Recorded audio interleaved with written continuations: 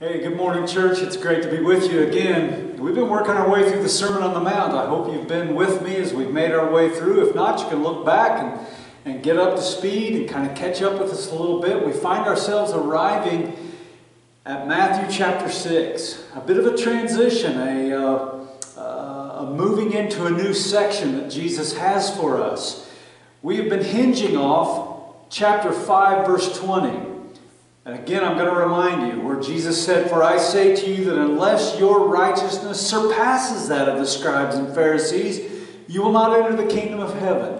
Then he launched out into a series of contrasts between the righteousness that had been presented to them that turned out was very external and checking of the boxes, self righteousness, if you will, of keeping the rules and Jesus said, That's not how it's going to be in my kingdom. And he gave them six different examples of how righteousness is going to spring from their hearts, coming from a right relationship with Him.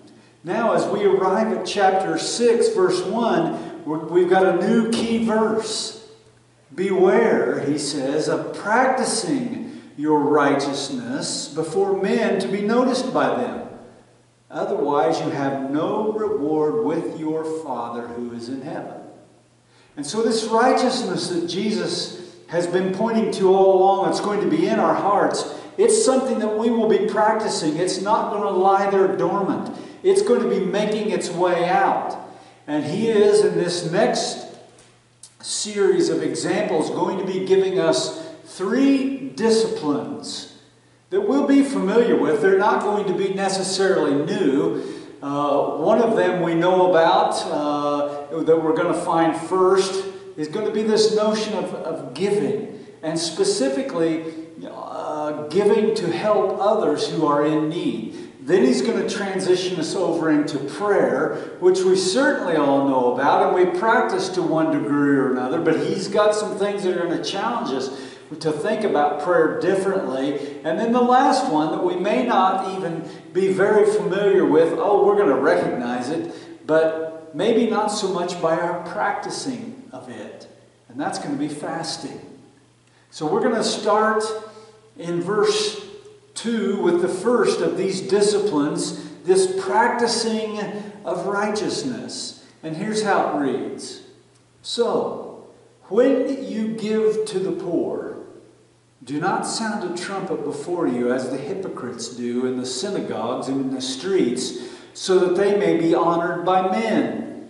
Truly, I say to you, they have their reward in full. But when you give to the poor, do not let your left hand know what your right hand is doing, so that your giving will be done in secret, and your Father who sees what is done in secret will reward you. Let's take a minute and pray. Just ask the Lord to prepare our hearts and our minds to receive His instruction today. Father, again, we thank you for your word carefully and meticulously preserved for us as it has traveled now some 2,000 years to arrive at us, applicable to our lives just as real and important to us today as it was, Jesus, when you first spoke those words so many years ago. We ask you now, Holy Spirit, that you will take it and illuminate it for us, light it up so that it will come alive to us and teach us and challenge us and, and, and rebuke us if necessary and change us. Give us hearts to hear Give us the courage to submit to your word. I pray in Jesus' name and amen. So, the challenge is that we will not be practicing our righteousness so that we're noticed by people. He says if we do that, we have no reward with our Father. Our Father is constantly watching to see how we practice our righteousness. The first of the examples is when we give. Now, notice there is, there is an assumption there. It is assumed that we will be giving. There's a challenge there for us because sometimes, if we aren't careful, we just sort of follow in line with our culture that just sort of consumes and, and, and sort of uh, uh, uses everything that we have for our own circumstances, our own situation. If we get a little extra, instead of thinking maybe, wow, I wonder if God has in mind someone around me who has need unmet, um, instead of doing that, we may just let our standard of living bump up along with that extra gift. We just sort of, uh, just sort of consume that extra that has come our way. But the assumption here is that this righteousness that is within us in the kingdom, that our following King Jesus now and allowing Him to direct our lives, allowing Him to call the shots, that when we have expendable income, extra there, that it's going to give us an opportunity to give to someone around us, someone who is experiencing need. And he says, when you do that, when you give to the poor, maybe you're recognizing that, maybe your translation it says when you give alms. That's what that is, is just recognizing an opportunity to give to someone who has need around you. He says, don't be blowing a trumpet announcing, hey, look at this special thing that I'm getting ready to do. Make sure you don't miss this. I want you to see what's getting ready to happen. And so you announce that. Even before you've done that, he says, that's the hypocrites. The hypocrite is one who pretends to be other than he really is. And he says they do that in the synagogues, the spiritual place, the religious place, as well as in the streets out in the uh, everyday places of life. They want to make sure that nobody misses their practice of righteousness, and they do it so that they will be honored by the people who see it. Want to make sure people know what a special thing. It's like, I got to create a photo op. Man, oh man, is our culture not filled with that? Whenever so many times I see it out there. Let's make sure the cameras are rolling because we're going to do something special for somebody here. You see that with our politicians, you see that with our celebrities, sometimes you see it with our athletes. Man, they'll create a big deal whenever they're going to do something special. Now, not always. You know, there are a lot of things that happen under the radar, but goodness sakes, isn't there an awful lot of that that goes on? We want to splash it all over. We want to manage people's impressions of us. And one of the ways we do it, Jesus says, causes us to miss the reward of our giving. They do it so we might be honored by men. Jesus confronted the Pharisees about that later on. He made this comment about them in Matthew chapter 23, verse 5, when he says, they do all their deeds to be noticed by men. He gives a couple of examples. They broaden their phylacteries and lengthen the tassel of their garments.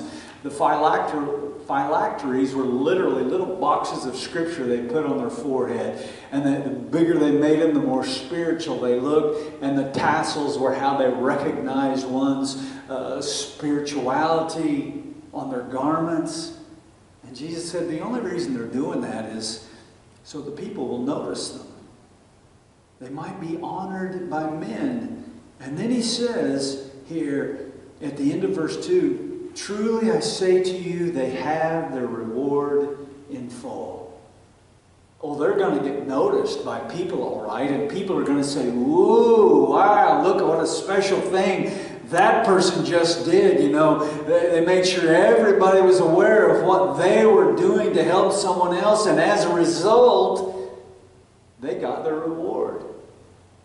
Jesus didn't necessarily minimize what they were doing. He says, well, they've got the, what they were looking for. They wanted people to see it, and people have seen it, and that's the end of it as far as we are concerned. Jesus said, don't do it that way.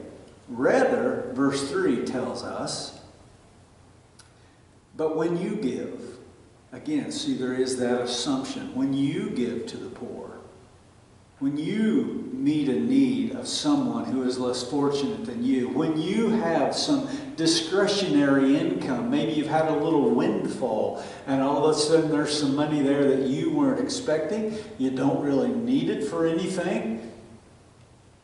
And the Lord might prompt you to meet a need in somebody's life. It is an assumption that righteousness within us is going to be moved that way.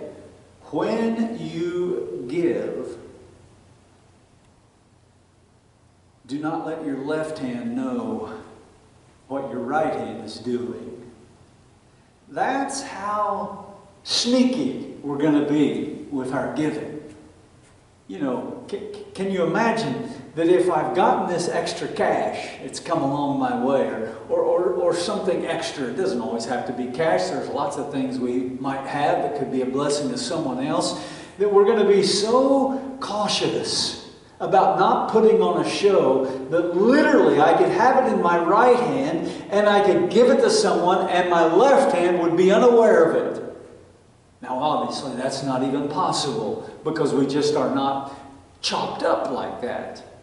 But Jesus is making a point to the extreme that that's how we want it to be, that, that your left hand wouldn't even know what your right hand is doing. That's how cautious you are to make sure that you're not drawing attention to yourself with this practice of your righteousness as you're giving to the needs of people around you.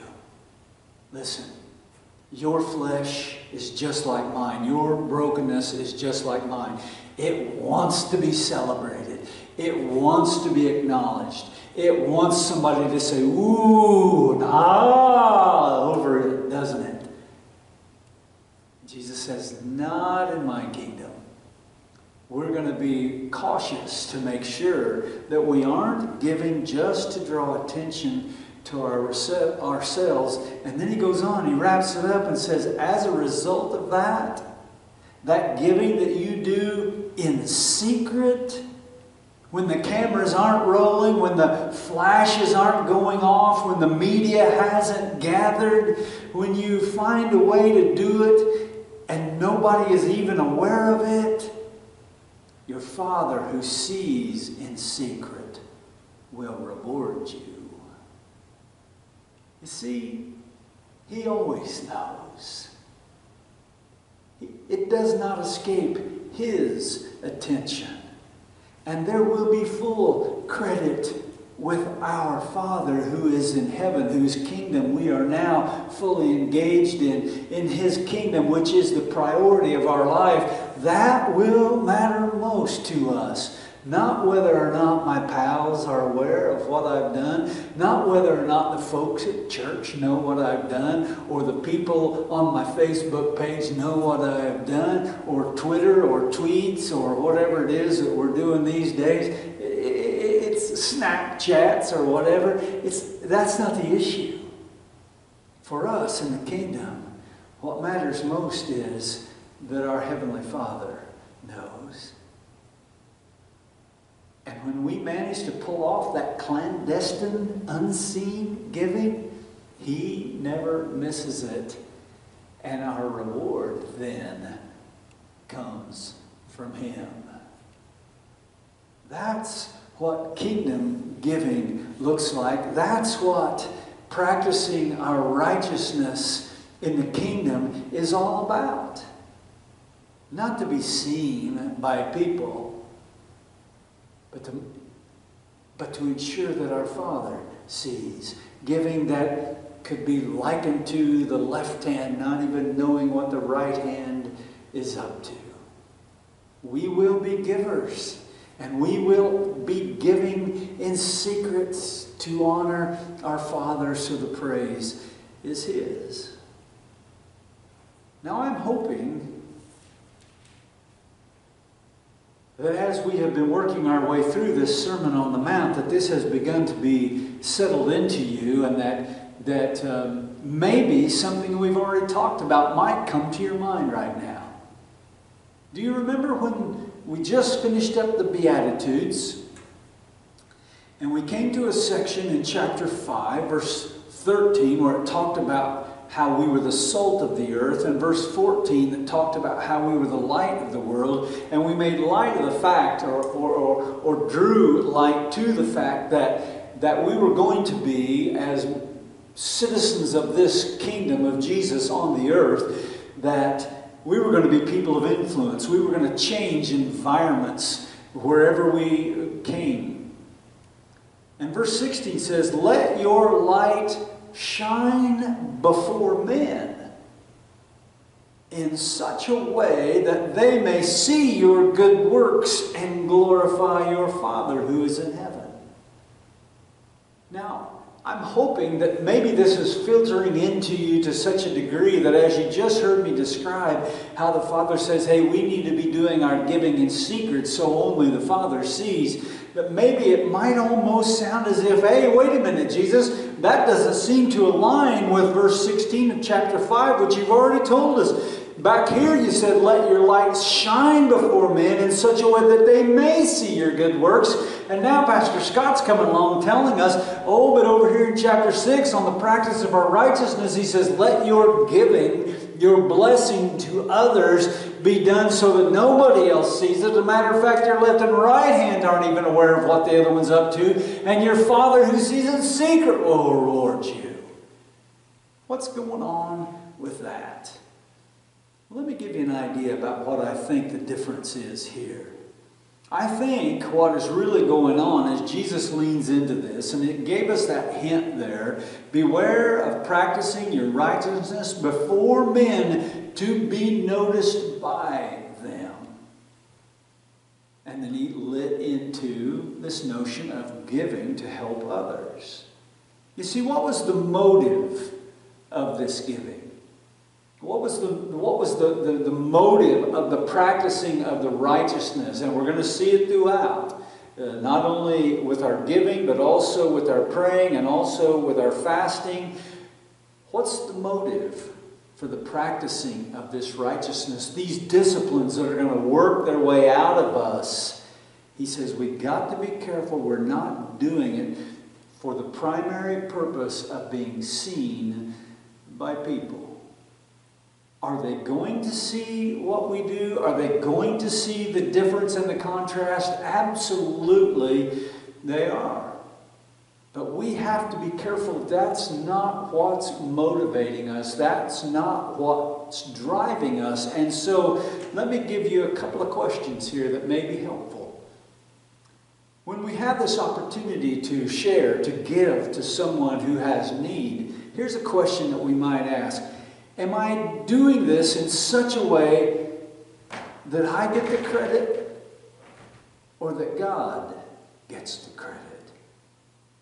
Is someone going to come away from this act of my practicing righteousness saying, Oh man, Scott, you are amazing, you are you're incredible, this is awesome, then maybe I've missed the mark as, a, as opposed to them coming away saying, Wow, I can't believe how God has provided.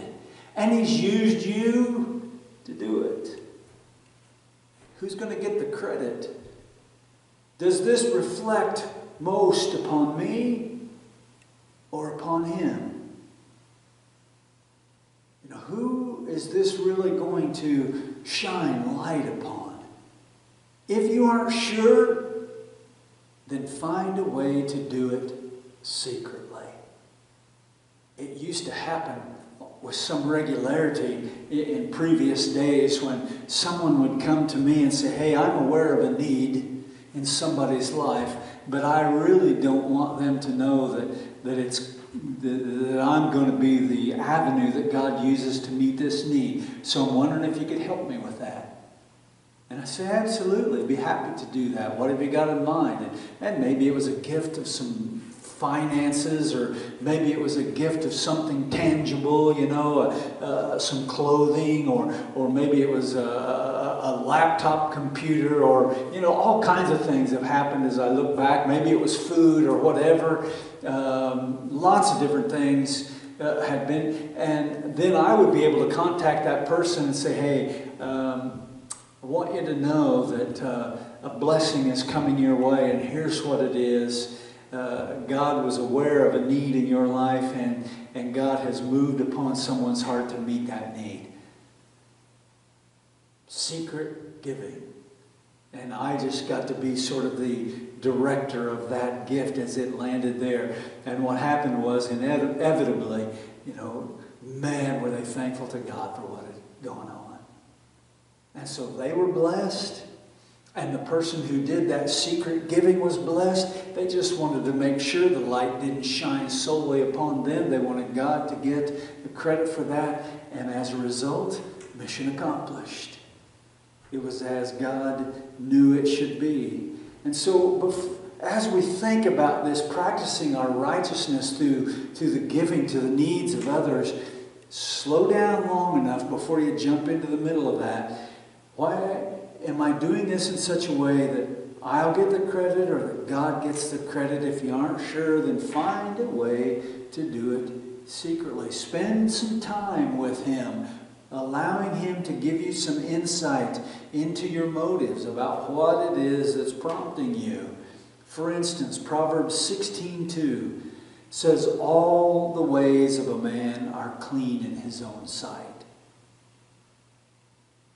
All the ways of a man are clean in his own sight. In other words, I can come to a situation and generally speaking think, yep, my motives are all good. I'm, all my ways are clean. This is good. I want God to get the credit. But Proverbs 16:2 ends by saying, But the Lord weighs the motives. He knows what's going on. As a matter of fact, 1 Corinthians 4 5 says that in another little way. It's pointing on down the road when it says, Therefore, do not go on passing judgment before the time, but wait until the Lord comes, who will both bring to light the things hidden in the darkness and disclose the motives of men's heart. Then each man's praise will come to him from God. See, God knows the motives of our hearts, and I'm contending with you if we will take the time to wait before Him uh, uh, as to these opportunities to practice our righteousness with giving to the needs of others, that He will help us discern just what our motives are. Are we really looking to create a little personal praise? Are we really hoping to get a nice pat on the back? Or are we really all about putting that glory onto God? You know, allowing Him to get all the credit for what it is that has gone on. When we aren't sure, default, opt to that secret sort of giving. That's what he's saying here. I'm certain. Another helpful tool to discern or to figure out what's going on is Hebrews 4, verses 12 and 13 says, For the word of God is living and active and sharper than any two edged sword, piercing as far as the division of soul and spirit of both joints and marrow, and able to judge the thoughts and intentions of the heart. See, there's another reason we need to be saturated in God's Word is that it will often lay ourselves open before us because it judges the thoughts and intentions of the heart. He goes on to say, And there is no creature hidden from his sight, but all things are open and laid bare to the eyes of him with whom we have to do. That's the importance of God's Word to help us check our motives. Why am I wanting to practice my righteousness in this way? God, what is my whole heart up to? Is it pure before you?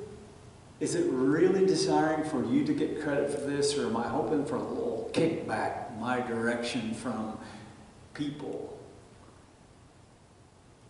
Let me give you one example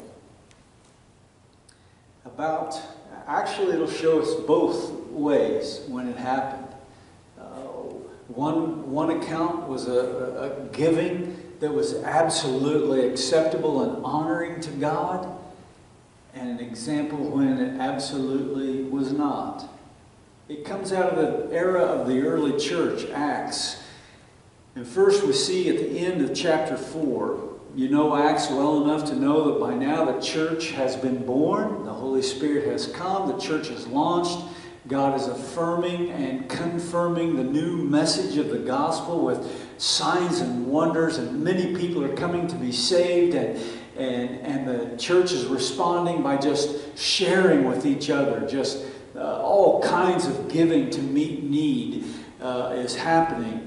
And let me, I'm just going to pick up and read a bit in Acts chapter 4, verse 32. And it says, And the congregation of those who believed were of one heart and soul, and not one of them claimed that anything belonging to him was his own, but all things were common property to them.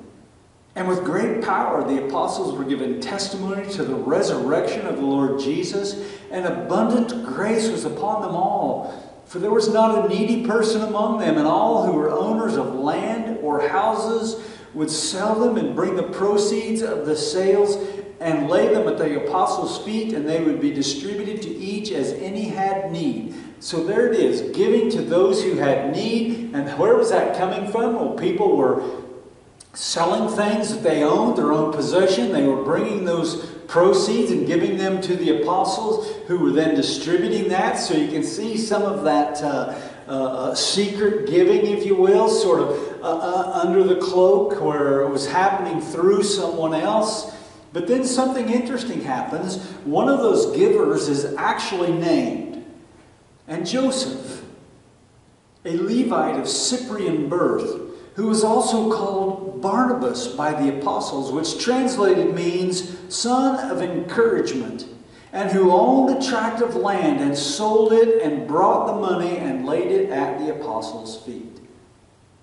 So it is absolutely possible that we are able, as the Holy Spirit prompted this record to be preserved for us, giving credit to a particular individual as he sold some land and he is it is acknowledged that he sold it and he brought it and gave it to the apostles, so we know here is this guy. It is actually possible to be named uh, along with a gift in such a way that it is God's glory. There is nothing inappropriate about this gift that Barnabas, who, by the way, is indeed going to be a, a fine traveling companion for the Apostle Paul on the first missionary journey. So it can be done. That, that, that, that, that this giving isn't always secret. It can be done with right motives even when others are going to know about it. But then the stark and troubling contrast comes in chapter 5. But a man, a man named Ananias, Ananias, uh, Ananias, with his wife Sapphira, sold a piece of property. Okay, just like Barnabas. Not quite. And they kept back some of the price for himself with his wife's full knowledge, and bringing a portion of it, he laid it at the apostles' feet. So there's a little deception taking place here. They had sold this property, they're going to bring part of it and lay it at the apostles' feet. The problem is, you cannot lie to the Holy Spirit. And the Holy Spirit tipped this plan to Peter, who in verse 3 says, Ananias, why has Satan filled your heart to lie to the Holy Spirit and to keep back some of the price of the land? While it remained unsold, did it not remain your own? And after it was sold, was it not under your control? Why is it that you have conceived this deed in your heart? You have not lied to men but to God. There would have been absolutely nothing wrong with Ananias and Sapphira selling this property and giving part of it to the church. But they wanted to be seen in the same light that Barnabas was seen. Wow, what a gift. Wow, how impressed people would be if we fit into the same gig as, as Barnabas did. So let's sell this and we'll give part of it, but we'll let them think that we gave it all. Peter said that wasn't necessary. Anything that you give would have been a blessing, but what you have done, you have lied to the Holy Spirit and you have lied to people at the same time. And the consequences were swift and significant. And as he heard these words, Ananias fell down and breathed his last, and great fear came over all who heard of it. The young men got up and covered him up, and after carrying him out, they buried him. Now there elapsed an interval of about three hours, and his wife came in, not knowing what had happened. And Peter responded to her, Tell me whether you sold the land for such and such a price. And she said, Yes, that was the price. And Peter said to her, Why is it that you have agreed together to put the Spirit of the Lord to the test? Behold, the feet of those who have buried your husband are at the door, and they will carry you out as well.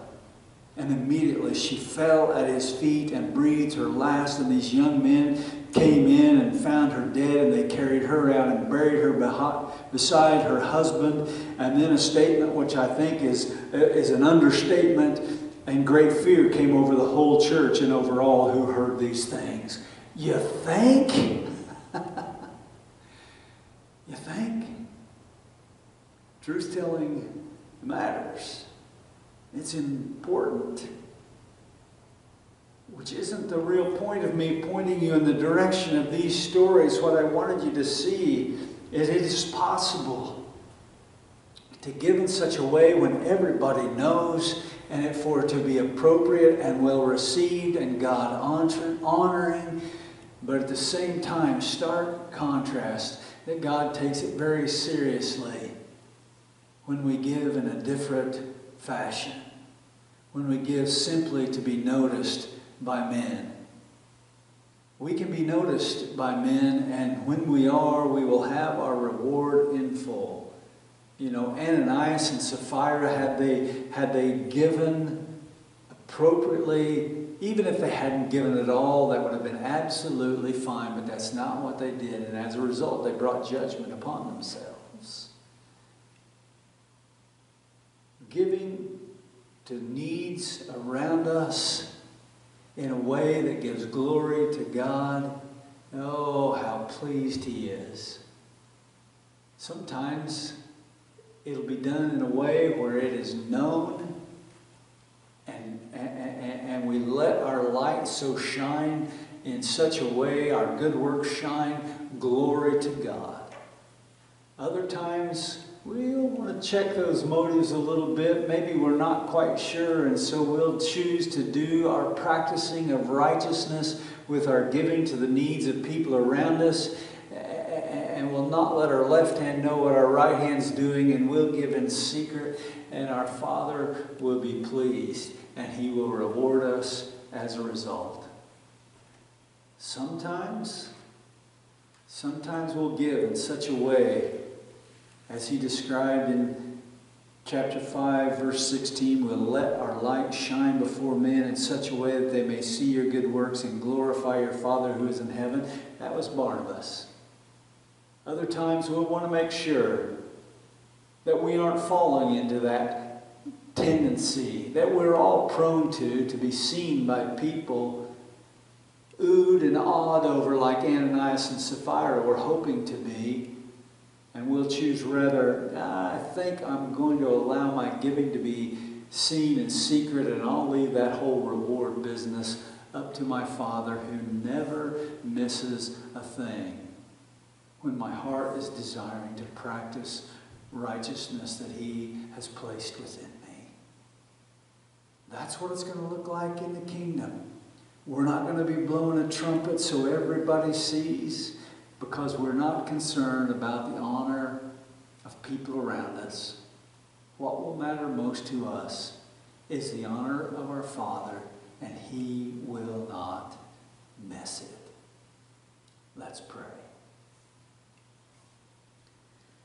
Father, it cannot be denied that you have blessed us in America immeasurably. We have so, so very much.